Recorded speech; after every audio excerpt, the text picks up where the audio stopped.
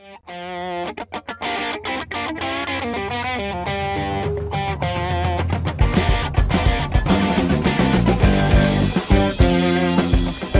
afternoon, everybody, and welcome to your Friday edition of the Trader Merlin Show. Good trading week out there. Lots of volatility, lots of excitement. We had tons of headlines, which made this week even more exciting. So, cheers. I uh, hope you all have something fun planned for the weekend. I've got all kinds of good stuff. Of course, watching my 49ers go 4 0 will be the highlight of the weekend. All right. 46 eyes, yes, but only four likes. I know, Sly Dog. It's a slow start to our Friday session. That's okay. We'll have some fun. I'm going to dive right into it. We'll see. Maybe I can actually get this out under 30 minutes. So, uh, best, uh, all the best, John, to your wife. Hope she's okay in the ER. Not the best way to start a weekend, but you'll get to be the pampering husband this weekend. Uh, let's go into my graphic here today. Trading week wrap up. You can see I've got a picture of the government looking um, dark and stormy and gloomy. I'm going to start there. I know I've got a lot of different things I want to talk about, but let's um, let's go right into a viewer question. And of course, we I talked about this in the oops, I talked about this in the other day, which was what are my thoughts on um, the market with the government shutdown, right? And this was a question that came in from Les yesterday or day before, and here here's the graphic for it. Do you have any thoughts about government shutdown and how it might affect the markets and our trades? And it's a great question because when you have something as, as, as significant as a government shutdown, instantly we think negative, we think bad, we think it's not going to function. However, I, I told you if I had some time, I would do a little bit of digging. Well, I didn't really have the time, but I did some digging anyway. And I looked at the last three times that we had a significant government shutdown and, and what happened with those market reactions. So, what I'm going to do is I'm going to scroll way back. I'm going to start with one, uh, one of the earlier ones, which was Bill Clinton. You guys might remember under Bill Clinton, we had a couple different shutdowns. There were two of them. Let me um, see if I can find it here. I hope I have them all mapped out. And maybe this has disappeared on me. I did them on a daily time frame, so I have to scroll way back through time to find these things. So here we go. Let me zoom out, find them. Um, it was there's one in 2019, 18, 19. That's the Trump one. There's the Obama one. And let's go all the way back into 96, I believe. It was actually uh, 95 to 96. There was a 21 day government shutdown under Bill Clinton. It actually was a five day one from November 14th to November 19th. And then another one shortly after that from December 16th to January 6th. And I just wanted to show you the windows of those shutdowns. So here is the ones under Clinton. Now, notice the first one on the left hand side of your screen. From the day that it was announced that the government shut down, there was a decline. You can see right here, there was a decline on that day of around half a percentage point. Big deal. But over the next three days, it actually had a pretty sharp increase. Okay, so there's, I'll chalk that up to a, a positive sign. I'm going to put a little plus sign next to that one just so I have a little reference here on how these have all turned out for um, individuals and, and markets overall.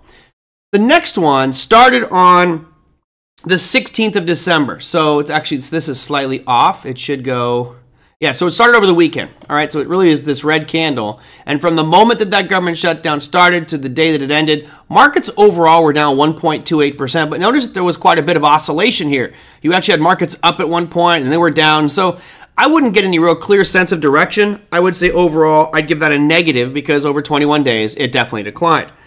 So now we move forward to President Obama's government shutdown, which happened from October 1st to October 17th. You had a 16 day government shutdown. Now, of course, there's varying degrees of these government shutdowns and which services were shut down, etc. But I'm just going blanket statement.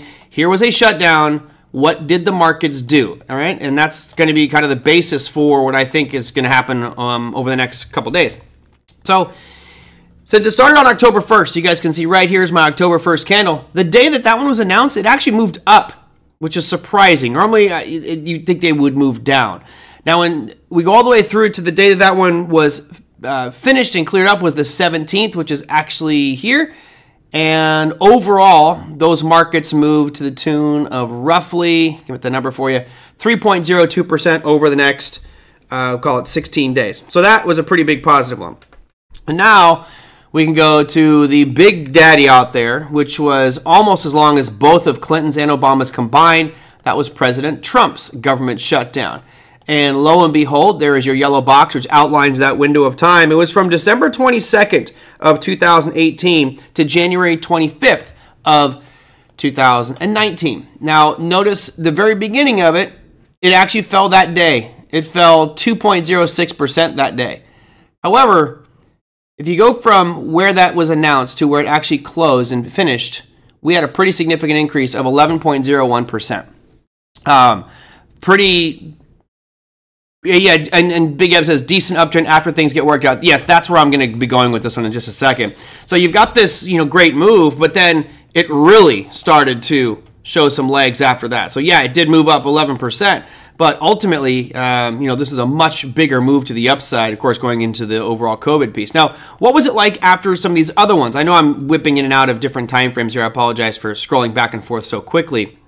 Uh, but let's go to that 2013 one again, just to see what it looked like. And you'll notice there's your 2013. Right? If I zoom in, okay, it, it was up, but then after that, pretty nice rally going forward. Now, what did Bill Clinton's do? You go back to 2000, or sorry, 90, 95, 96, going way back here.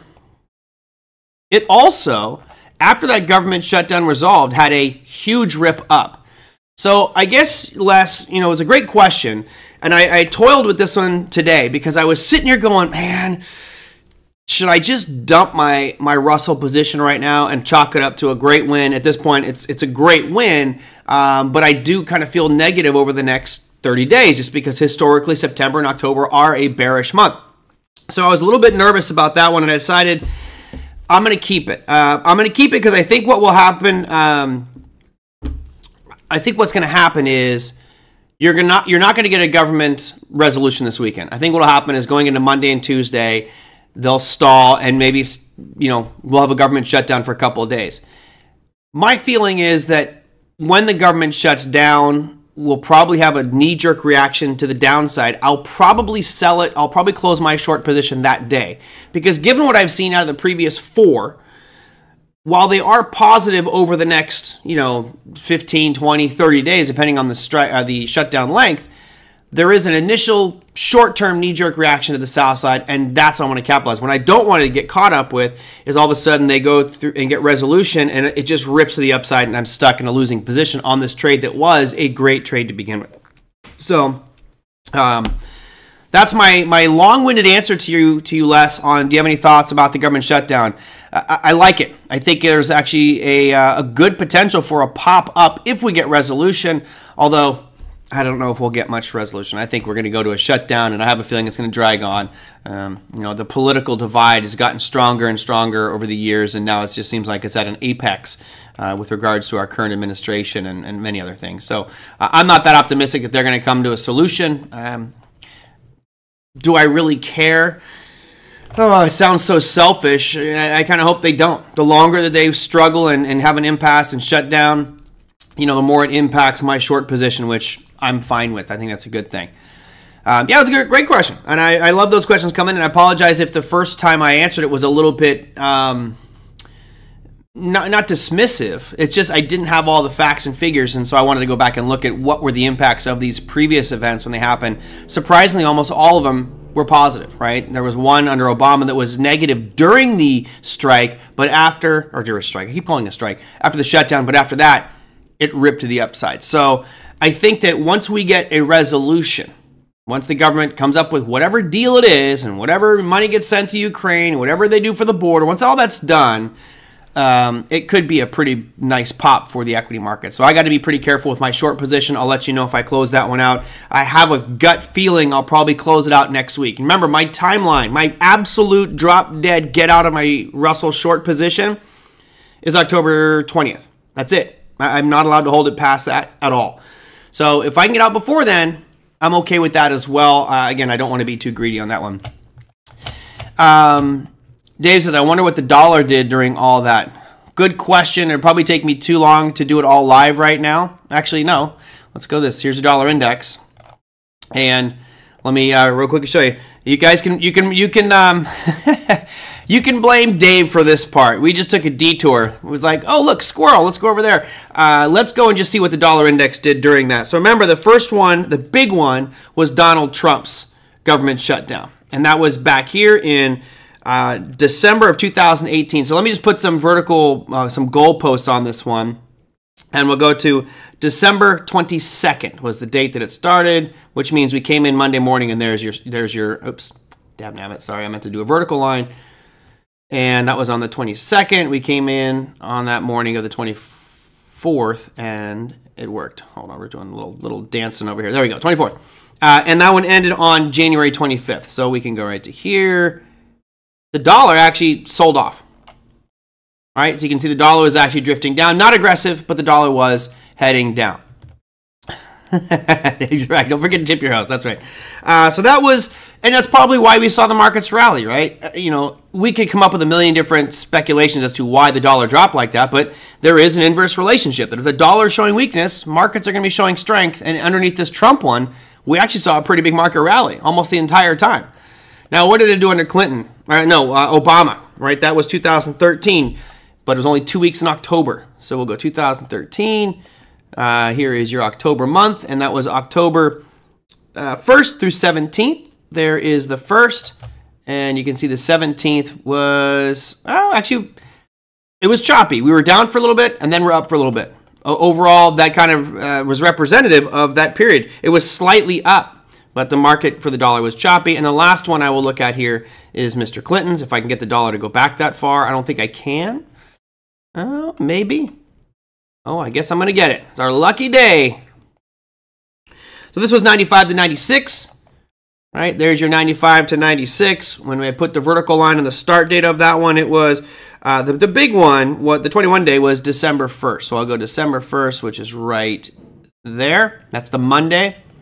And then the uh, second part of that, when it was resolved, was January 6th. So I can go to right there. We really don't have a ton of time here uh, to transpire for these ones to show big gains. It was really just chopping sideways for that entire 16 or 21 day period on that one. So there you go. Thank you, Dave. We got that one. Your question has been answered, so not a lot really happened. And I'll be honest, there's not a lot of time there. You know, when you're looking at 16 or 20 days, it's hard to get the dollar to have a, a, a huge move. So, and I guess it would make sense as to why the dollar wouldn't move much because if you don't really know what's going on with the government, you know, why would you want to be making a definitive play on the dollar?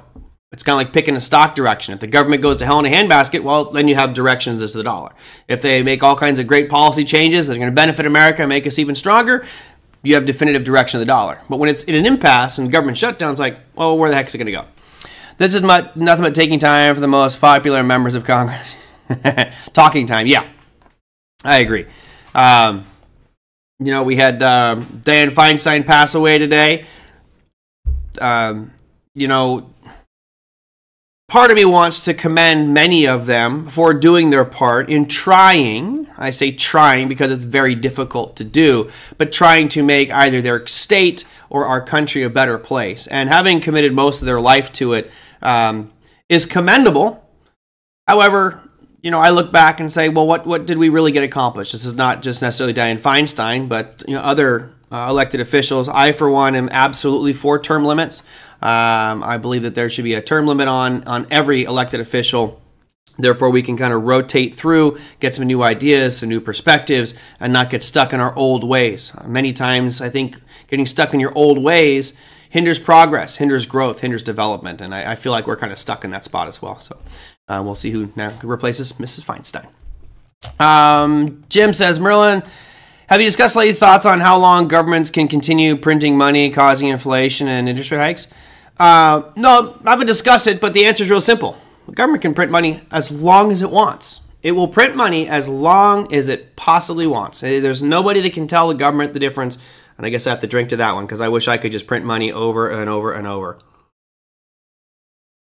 Um, Big Eb says term limits and no insider trading. Not only no insider trading, but the one that bothers me most of all of this, and this should bother you as well. Look, I'm short the market. I, I think the market's going down because I believe that the economy is not where it's at. I believe that historically September and October are negative months, and I believe that um, the Russell is a little bit ahead of itself. And so, therefore, I'm betting the markets are going to be going down. The difference is I am an individual consumer. I'm a citizen of the system. I'm a part of this machine, and I don't have a say in how those cogs are functioning. Every single senator and congressman and woman should be prohibited by making it a criminal offense if they short the market. Because remember, if I'm shorting the market, I'm betting the market's are going to go down. But I, as Merlin or Tom Barr here or Margaret or Dave, you're not making all the policy that could make America better and get us out of that problematic situation. When I see an elected official shorting the markets, it makes me feel like they're not going to do their job to get us out of the problem because they would benefit by us being in a deeper problem. Oh, do I want to get us out of the recession? I'm short. What do I care? Go into depression for all I care because I'm short. That's the problem I have. So I, I, think that insider trading should be banned, but I also think it should be a criminal offense if they short the markets in any way, shape, or form, betting that America is going to go down. They shouldn't be able to short American businesses or the economy overall, period. Uh, let's not leave out the federal decision management maker. Yep, loopholes. It's funny. It's insider trading is illegal for you and I, but they can do it regularly, and they're the ones that are being lobbied by all these professionals. That just um, shocking to me that this happens. There was actually, I can't remember the guy's name, but he was actually proposing that it would be illegal for all government, uh, um, all elected officials to trade, to do all this stuff. And I was like, okay, I, would support that, but the inmates are running the prison here. So they're the ones that are going to make the rules, and good luck. All right, let's go to uh, our, our weekly rundown. Or sorry, weekly, our monthly rundown. This was interesting. We had an, a complete about face here with regards to the performance for these markets for the month. So I'm going to put this on a monthly time frame, my charts here, and as I run through these, I will show you how they look and get you the percentage gains or declines as they may be. I thought it was uh, uh, pretty pretty crazy the way this this month finished. Okay, so here we go. Yeah, I remember when they made an example of Martha Stewart? Isn't it funny that Martha Stewart has done more jail time than, than Snoop Dogg, who's a gangster and uh, killed somebody but got away with it? Uh, gotta love that. Gotta love the legal system. Margaret Stewart went to jail not because of insider trading. You know that, right? She didn't go to jail for insider trading. She went to jail for perjuring herself under oath. That's why she went to jail. Oops, so let's uh, let me oop, before I look like I made another goober and make a bad mistake here. Let me go back here and change it to the month of um, September because it was September and then a day in the park. I'm not going to sing today. That'd be a bad idea. All right, so let's look at the month of September, what our performance numbers were. Boom. Start things off at the bottom. Thank goodness it's my biggest position. At least right now, direction. Silver is actually my biggest overall position, but uh, I have a pretty big um, intrinsic value, or not an intrinsic value, but um, the value of my short position of Russell is pretty damn big. So Russell for the month down 6.35%, making it your worst performer, but uh, they're, they're all pretty bad. Here is your monthly chart. And again, I'm leaving the head and shoulders on there just because I don't think we've finished this one out. So I apologize because this chart's starting to look pretty ugly. Um, I hope, my goal is that I can remove this head and shoulders pattern because we met this lower object here right around 1670. Uh, that'd make me very happy if that did happen, but we got a long way to go till we get to that one. All right, so that was your Russell 2000 down 6.35% for the month, making it your worst performer. Moving up that list, you have the NASDAQ 100 was down 5.2% for the month. These are all monthly charts that we're looking at, so when I show you these pictures, you know, these are summarizing the entire trading month. Um, this one's pretty bad. And notice what's what's interesting about it, at least for me, is on the monthly, we came back down and we did tap this lower part here, which goes back to a low that we saw all the way back into August. Oh, I'm sorry, this is a weekly time frame. Let me get the monthly. I, I was on the wrong time frame. My bad. Apologize. Um, so we did come back and tap this low that we achieved back here in August. So it's kind of a double tap on this low, right around 14,600 for the Nasdaq 100. Um, I actually really like this weekly time frame because you guys can see it feels like it's getting slowly weaker, doesn't it? I think you guys can see that one right here. Uh, lower highs and the same lows. So one of my personal favorite patterns out there is called a descending triangle. If I go through the peaks alone, there's your descending triangle. I could also go through the bodies of this, and there's your descending triangle. But either way, the tops are getting lower, the bottom is staying the same. That's pressure building to the downside. We'll see if that one um, breaks in the coming weeks. But we did have on the weekly here kind of a spinning top formation. On the monthly, it's a little bit different you had just nothing but a big down red candle. So we've had two consecutive months in a row where that NASDAQ 100 has been just getting crushed. Um, granted, I think is definitely due for a pullback given all the gains we've seen over the past you know nine months. Next on our list, moving to the upside for the month of September. Making it a clean sweep of the indexes. I mean, this is pretty ugly for anybody who's got a 401k or retirement account like that. 5.10% down for the S&P 500. Here is your monthly chart of that one. Um, you notice that I've got this little yellow box on here, right? And so I like having little yellow boxes on my screen because it does help me figure out where I think things are going to go. Well, two consecutive months, 5.1% down for the S&P. Let's slice this open into a weekly. And notice that weekly demand zone, you still can't see exactly why it's created because it was created off the daily time frame. And we tiptoed into it on the weekly and bounced out. Check out our daily. All right, I have that one mapped out as this kind of area of consolidation over here that goes all the way back into June of this year. We tiptoed into it, um, and again, that's why I was thinking we'd see a bounce out of it. We did. Uh, we didn't get follow through, and, and I owe an apology. How many of you guys follow me on Twitter? Anybody follow? I really don't do much on Twitter. I'm, I'm going to try to do more. I will try to do much better at. Um, at updating and charts and more financial stuff versus just straight hatred towards Sam because obviously I, I, hate that guy. Uh, but I'll try. Since I've been blocked, I guess I have no reason to hate him anymore. I can't even see what he does, which is probably good for me. Um, I will do a lot more uh, positive things out there with regards to markets and updates and tweets. And um, there's been some fun stuff that's been going on. But if you follow me on Twitter, I posted the other day kind of you know why I was expecting this bounce to happen, which you guys know I talked about there, and I was expecting it to bounce up, but the number that I posted. Let me just double click this line right here. I'll put the number on here. I did 4370. Okay, so that was the line that I, I think I may have said it on this show, and I also um, posted out on my Twitter feed.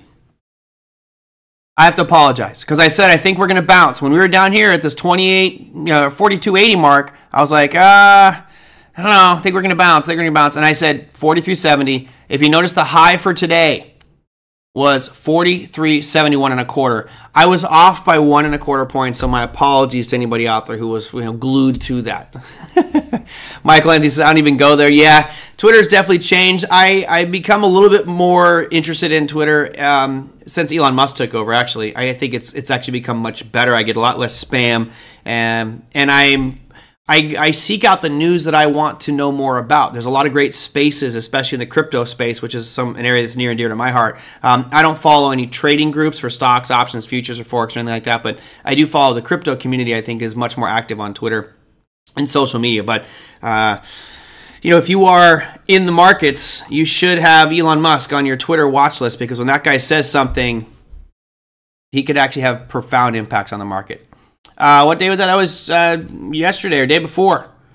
It was, uh, I think, the 27th. I think I did it the night of the 27th. After I did the show, I went on there because I, I, needed to start doing more on Twitter. Obviously, it's one way to create engagement and create uh, maybe some followers out there that, that join the show as well. Tom said, I follow you on X, but didn't check in much. Uh, my feed is much more balanced since Elon cleaned it up. It, for me, too. It's been a lot better. Clown World, okay, Big Eb, Clown World is good, but some of the stuff is just outright disturbing. I mean, um, I, I, don't know if you guys saw the one. There was a kid walking down the street in Chicago, and he's literally just walking down the street with his backpack on. He's eating a sandwich, and these two guys run up behind him and just literally start beating the crap out of him. Uh, it, that stuff's just hard for me to watch. Completely unprovoked, completely unnecessary. I don't know. But yeah, Clown World is a pretty damn funny one. Um, Cody, my uh, Twitter handle is Trader Merlin, one word. You just go at. There you go. And don't use any other ones if there's if it's not spelled that way or if it's got a gap in it. There's a lot of people that will try to scam you.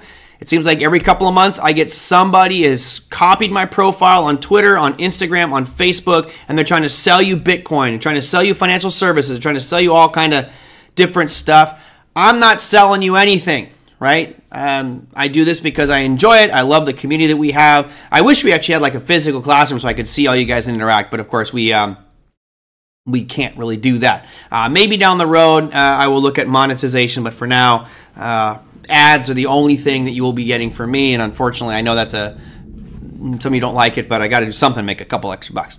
Uh, Elon went to the board yesterday and requested more civilian. He did, uh, and, and, you know because he wants more people to be using Twitter to spread news. You know the challenge I think you would all agree with news is how do I know what you're posting is real, right? Pepe, you may post some great thing I find very compelling and I'm like, man, this is this is crazy. Wow, wow, wow. And if I did some research, I find out it might not actually be real. You know, for example, there was a video I think I played it. I mentioned this one when I started the show. John O'Donnell sent this one around on Facebook, and it was a, a video of President Obama at the podium going, "We must oppress American people. We must control their thoughts and ideas so they don't rise against us." And I was like, "That that's not something Obama would say ever." What happened was he was at a press conference and he said, when we look at Russia, Russia believes that they must control their people, that we can't let them rise up. It, it was a statement about Russia's control over their people, but someone took it out of context and edited out certain pieces, and now it sounded like Obama. So the tough part is, you know, what is actually real information? And Twitter actually has done a much better job of when someone posts a, a fact uh, of actually checking some of those facts and posting down below. Here's where this image was sourced from, and this is the real image. Um, you might, there's a funny one about Ricky Gervais going around right now where uh, you know he's very offensive at some of the award ceremonies he does, and all the celebrities are like in shock at Ricky Gervais. Well, the reality is that picture was actually taken not from Ricky Gervais um, award speech, but when they made the wrong announcement for La La Land being the best picture of the year or something like that. yeah, Mammon. Yeah, Bob passed away. So did the Twitter account. There's some there's some decent people out there that are you know worth following. Um, got a little Caesar ad right now. Five seconds. Wow. Pizza, pizza. I'm glad it's pizza ads. I, I, I would love it. Let me know if they're trading companies because I'm curious to see who would be advertising, um, trying to capitalize on my show from that perspective. All right, I'm almost done. Let me get through these. We have the indexes out of the way. It gets more interesting here because this is all negative and, and aggressively negative, right? Well, you also have gold.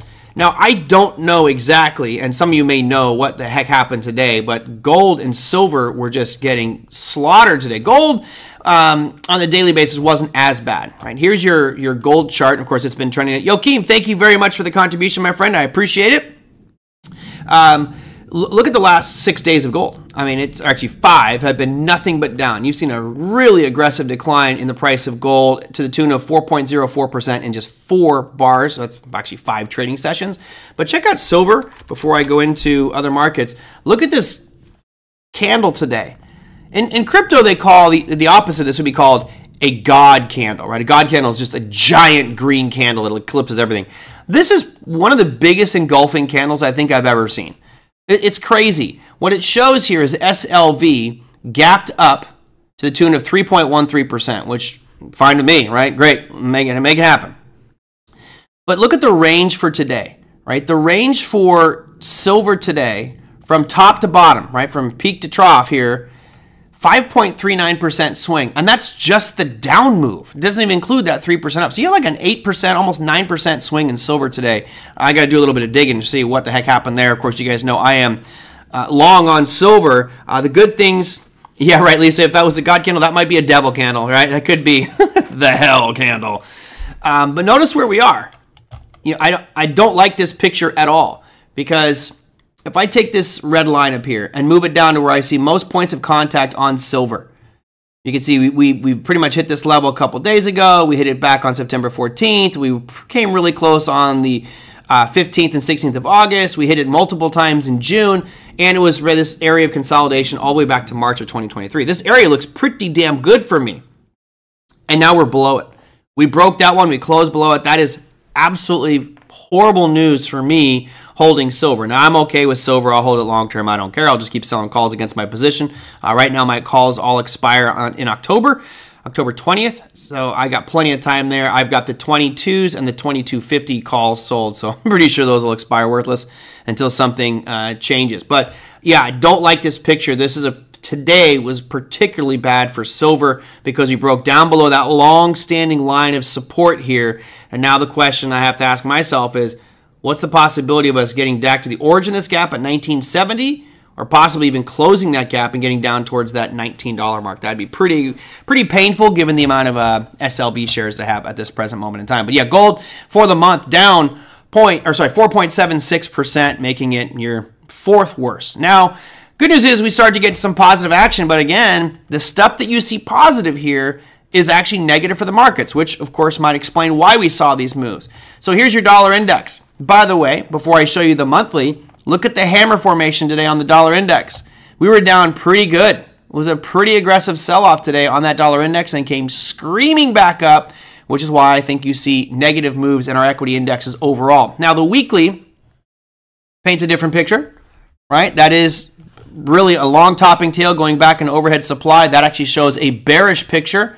And then, in honor of Bob Dunn, we'll throw that monthly on there. Well, this candle doesn't tell us much yet, but it's a very uh, a nice picture because you got a breakout, a sideways consolidation, and coming right up into that, uh, that blue line I've got drawn right around 107. So still feeling bullish on silver, but uh, that weekly time frame makes me feel like you're going to see a little bit of a pullback. The daily time frame is bullish. I mean, it's tough because now I've got conflicting signals. Monthly bullish, weekly bearish, daily bullish. So which one do you go with, right? Um, let's see what else I got. Real, what strike might you now use for silver? Are you talking about for selling puts or for selling calls? Because I may actually go sell some more puts on silver. I'm okay long term having a much bigger position in silver. It's fine with me. I'm okay with that. Um, over time, silver will oscillate and fluctuate, but it will slowly go up over time due to scarcity and utilization, solar and things like that.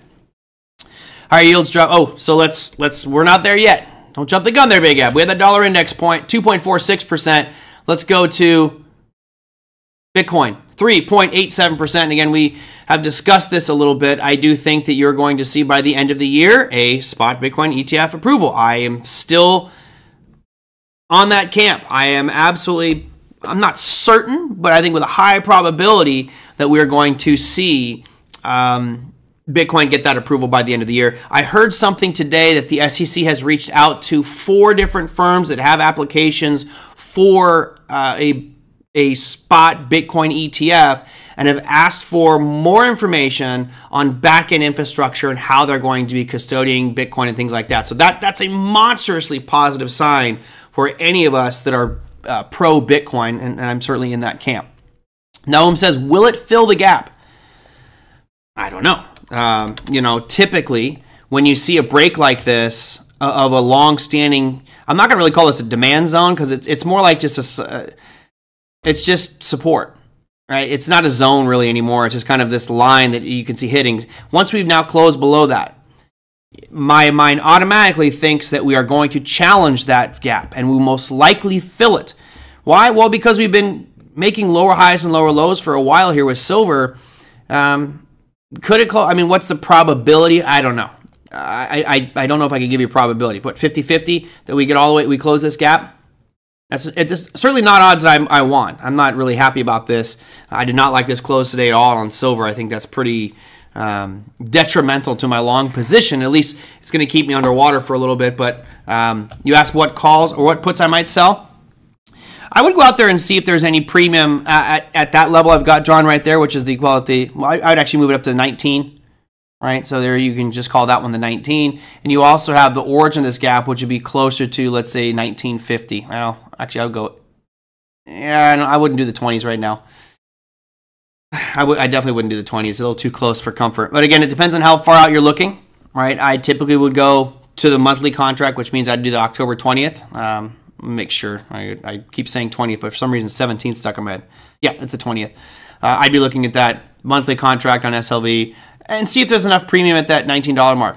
Probably not going to be a lot of premium because it's just it's not that far away, uh, but you might be able to get a half a percent for the next two weeks. There we go.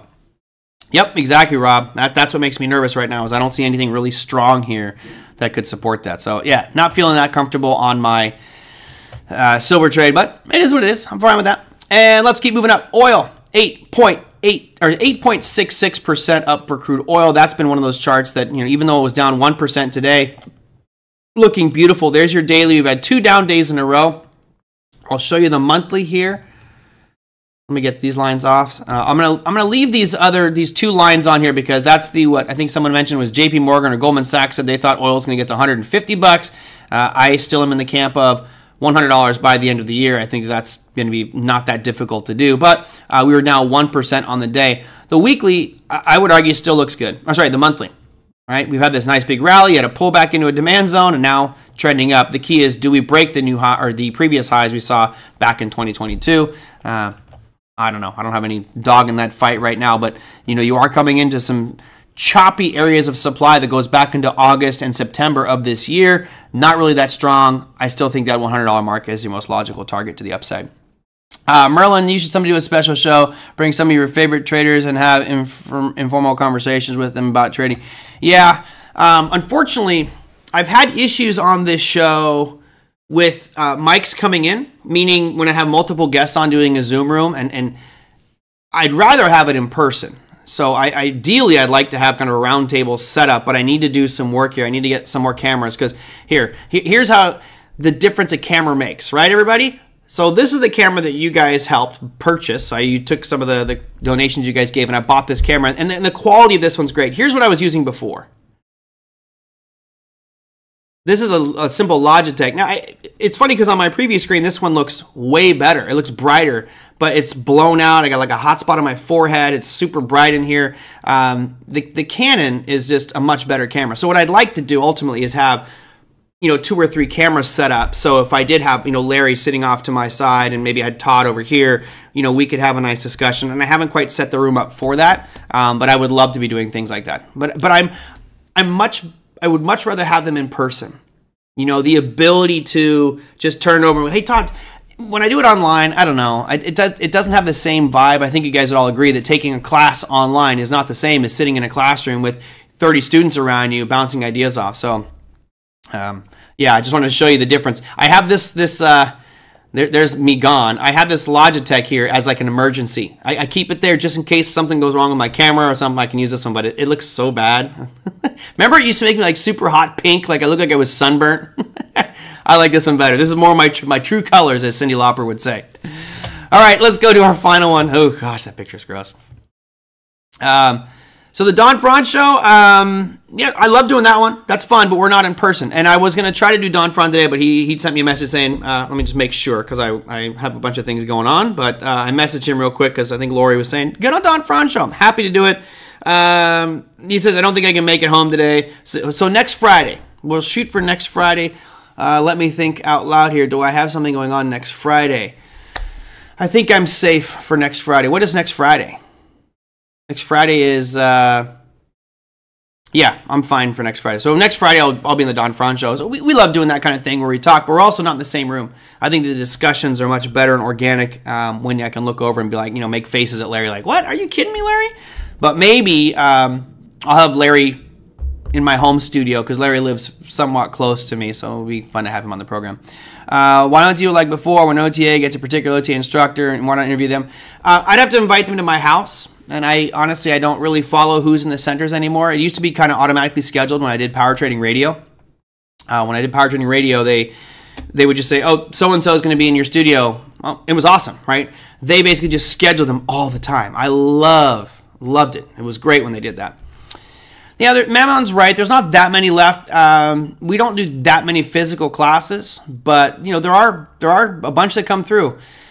The the challenge would be this let's say I've got Jordan Matthews teaching in Irvine, which is close to my house. When he's done teaching, I know how it is. I just want to go home and I want to fall into bed and take a nap because I'm exhausted. My energy level of exertion is so much higher when I teach a physical class. All right, it's it's off the charts. And like um, I'm teaching the week of October 9th. I'm going to be absolutely dead at the end of the day. I don't even know if we'll be able to host trivia on my normal Tuesday night. It's going to be so exhausted. But having asking an instructor to teach that class, then get drive to my place to do this type of interview it's not really not really in that interest you know. Not, i'm sure he's not going to want to do it. Um, where do they all go? Well when you know a lot of centers have had to shut down for multiple reasons but covid certainly hurt a lot of it. Um, a lot of them went to try to start their own thing which while some of them are i think some people that left actually are, are good instructors I think you start to lose value when you go to a school with one instructor. I think one of the huge values that OTA brought and still brings to the table is if you took core strategy, you could take core strategy with Jordan Matthews, and the next time you, come, you, know, you see, uh, you know, Larry Jacobs is teaching, and you start taking it with different people. While you're not going to like all of them, you're not, you know, you're not going to watch all of them go, oh, they were all just perfect you're like, I like this one better than this one for this reason, and, and you start to learn different things from each one of them, uh, which is kind of why they asked me if I wanted to go back to the classroom. Like, you know what? Yeah, I'd be happy to go back through uh, and teach in the classroom. I think it'd be fun. I like that. Um, Scott McCormick, yeah, uh, Scott loves this stuff. So do I. I, mean, I as you, obviously, that's why I do this show.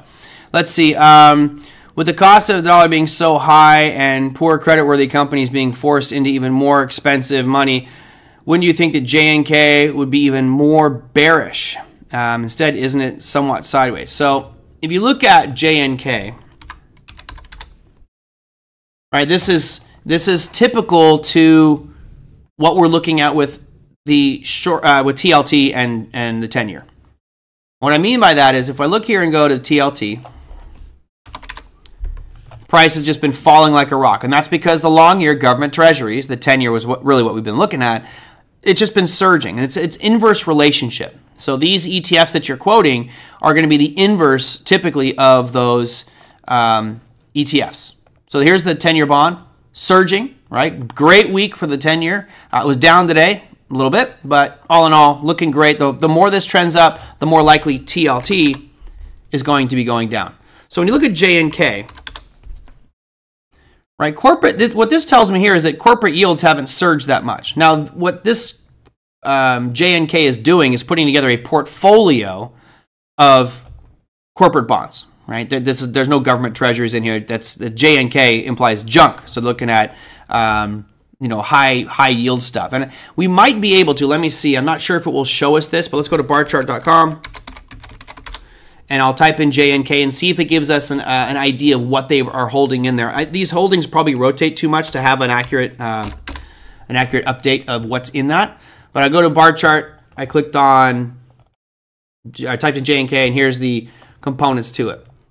So here's your different bond yields. And you notice there's they've got quite an assortment in here. I mean, this is really interesting. You've got Medline paying 3.87%. You have uh, Caesars six and a quarter percent, but a lot of you know American Airlines 5.75 and six and a half. So this is all corporate debt that they're holding. So if we start to see uncertainty and more uh, troubles ahead for these companies, they would be increasing their yields, meaning they American Airlines would now issue new debt at 7% or 8%, which we'll probably start to see more of. If that does continue, then the price of JNK will most likely start to drift to the downside. The reason I don't think that you're seeing such a big um, change in JNK, because I think that even though yields are getting higher on junk bonds, I think more people are flowing into um, short-term government treasuries. Why, why take a risk on something like you know, American Airline. Uh, let's go. What's a dish, right? So Michael, who Michael Anthony here, he loves dish, right? Why would I buy 5.25% dish bonds when dish has got some headwinds in front of it when I could just buy a three month government treasury and make five and a half percent for the I make more for a much safer instrument, right? So I think part of it is you're seeing money go out of JNK into uh, short-term treasuries because if you're chasing yield, go with the safe stuff right now. So I don't know if that necessarily answered your question out there on, um, let me see, that was for JB. I do think that overall you will see JNK continue to slide. Why? Because if the long-term yields keep rising, then corporate corporations are going to have to incentivize you through higher yields to buy their bonds, which means, you know, typically the lowest rate is going to be the 10-year, and everything else that corporations offer is going to be higher than that. Uh, let's see. Technician JD, sup? Uh, what do you think about AMD? A to the M to the D. Got 93.88.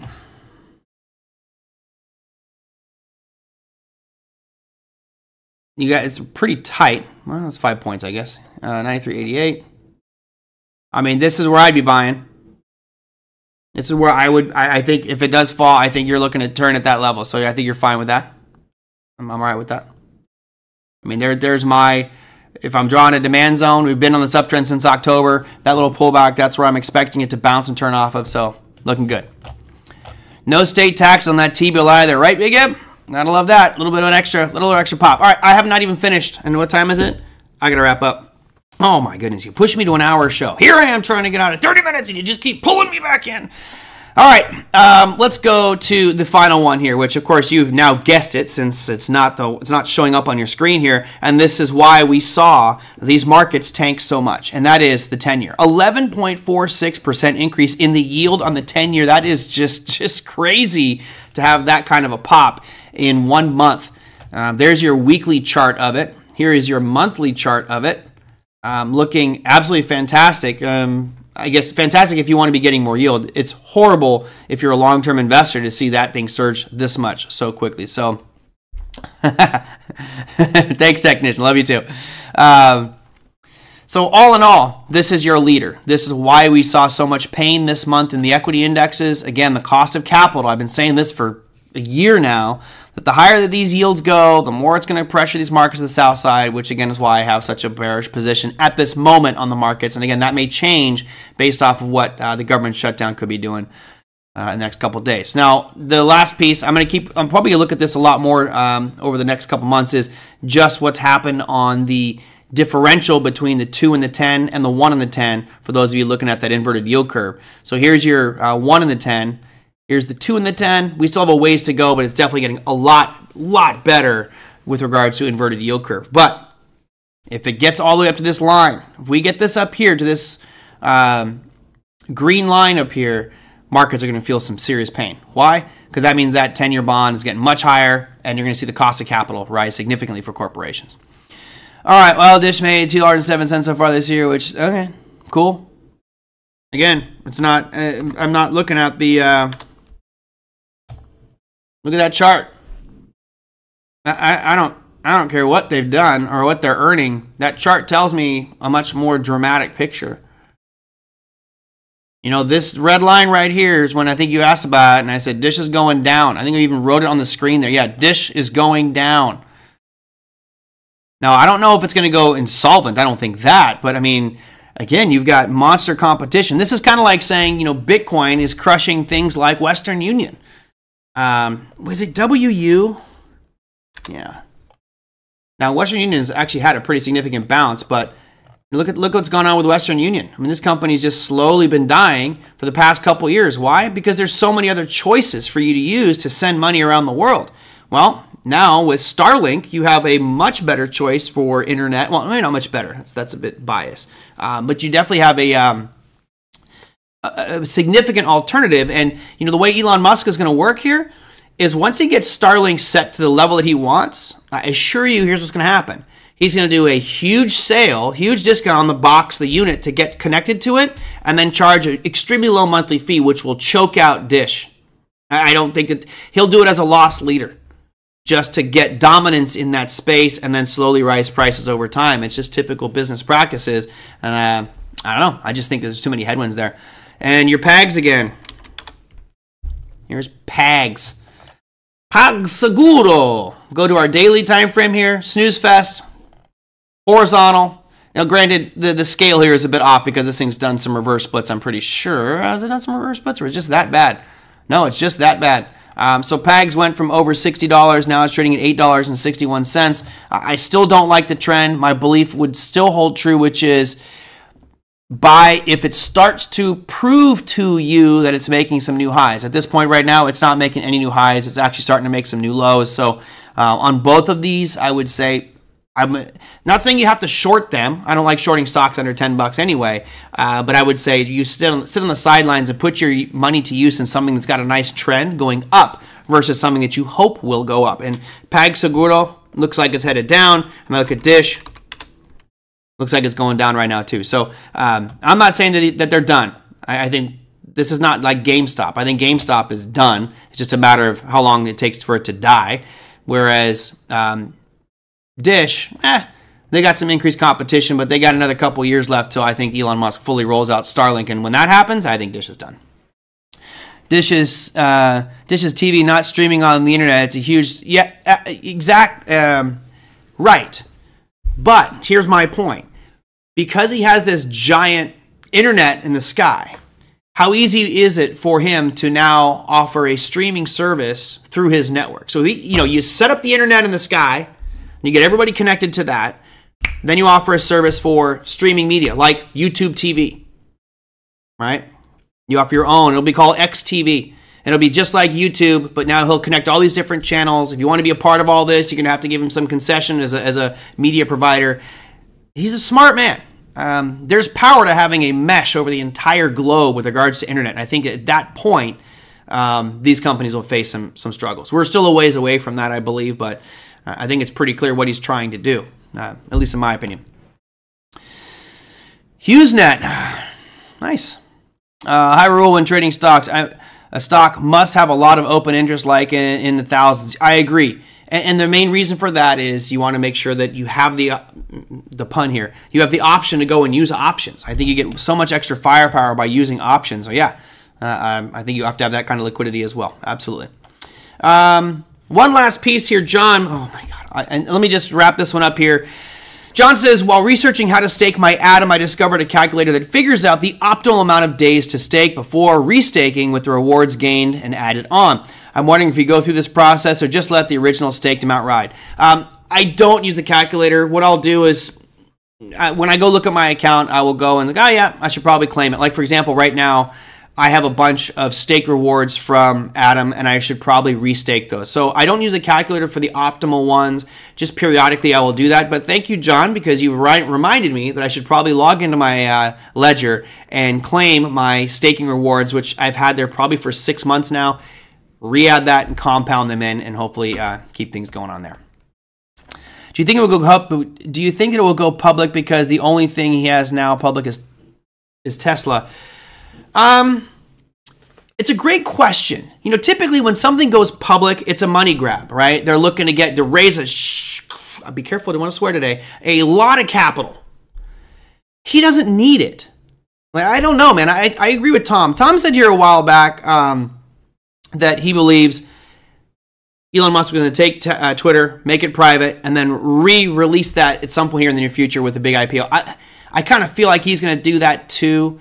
Um, I don't know. When you have FU money, and he is loaded with FU money, right? He doesn't, I don't think he really even cares. I think he's going to keep parlaying these into bigger and bigger endeavors. Um, and, you know, I, I, think that Elon Musk will probably be the first trillionaire. If he does go public with um, Starlink, I think you're talking a massive, massive valuation. Absolutely massive. Because it's no longer just, oh, we're going to cater to the US markets. We have basically, we can connect everybody global. It kind of flies in the face of, I, I imagine antitrust on this bad boy. I'm sure governments around the world are going, no, no, no, no, no, no, no. We can't have Elon Musk controlling all the information that's sent from the European Union, you know, the Japanese, and all of us connected, and they've had access to all the info. Boy, there's a lot of things to consider once it goes down the road. But technician JD, do I think he'll want he'll sell it? Probably. I mean, you look at some of the stuff he's kept private so far. You know, he's he could easily have gone public with some of the other stuff that he's done, but he hasn't. So I don't know. I don't know the the uh, perspective there. All right, I got to wrap up. I got uh, I got places I got to go. So let's do this. Uh, if you guys have comments, questions, feedbacks, things you want me to discuss for our Monday show, you can send them on in. The email's on your screen at tradermerlin at gmail.com. If you are trading on Monday for the U.S., you have ISM manufacturing PMI. You also have um, Fed Chair Powell will be speaking, and that's going to be at 8 a.m. on Monday, 8 a.m. Pacific time. So that's an hour and a half into the market. Keep mark that on your calendar. Put a sticker um, sticker on your computer because an hour and a half into the trading session, you could see some pretty volatile swings. And you're going, what, what's what's happening? It's because Jerome Powell is speaking, and again, whatever he says can move these markets. You also have construction spending going on for the U.S. And that's pretty much it for your Monday session. There are no major earnings. Um, no guest on Monday. I do have um, Justin Krebs going to be on on Tuesday. We're going to talk about end of year kind of tax planning and taxation pieces because I had a couple questions on that. So we'll look at that from a long term investment perspective. So again, comment down below any of the YouTube videos, things that you want me to discuss on the show. Comments or questions can also be sent in at tradermerlin at gmail.com. Until then, happy trading. Have a fantastic weekend. Go do something fun. I'll see you guys on Monday. Take care.